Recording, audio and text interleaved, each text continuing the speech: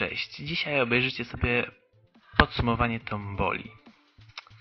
No, czy ja wiem, dla mnie to ta tombola była, bo była i nic praktycznie nie wniosła.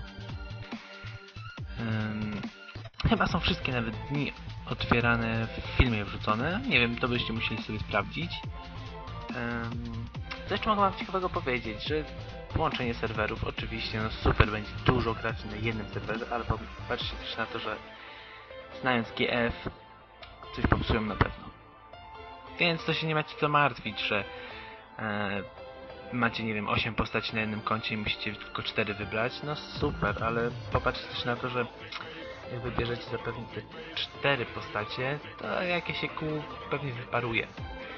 To samo tyczy się, nie wiem, przynoszenia znajomych i tak dalej. Yy, to znaczy tych, co macie, wiecie, na stronie jako zaproś znajomych. No i tak wiecie, to jest takie... Może 60 level ktoś wbił. No, jak tak, to gratuluję. Mm, Co to jeszcze można dużo mówić dzisiaj? No nic ciekawego po prostu. Tombola jak tombola. Pierwsza i druga edycja super, ta już po prostu mm, można powiedzieć, że to jest sprawdzenie ilu graczy jeszcze żyje. A nie spam botów, botów i tym podobnych. Dobra. Macie jakieś pytania? Piszcie. Do zobaczenia.